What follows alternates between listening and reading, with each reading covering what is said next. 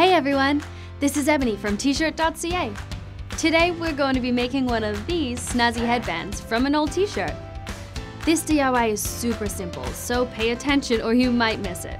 The first thing you're going to do is take your t-shirt and cut off the bottom hem. I'm using a size small tri-blend shirt so that my headband will be stretchy. You may need to experiment with sizes and t-shirt fabric to get the right fit for your head. Once you've removed the bottom hem, you're going to cut straight across the middle of the shirt so that you have a loop of fabric like this, about 3 inches in width. For best results, you'll want to use a shirt without a side seam. Now take your loop and fold it in a figure eight like this.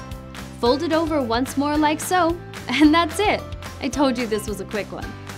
Let's see that once more in slow motion. Fold your fabric loop in a figure eight. Then fold it over again like so. And that's it. Thank you so much for watching.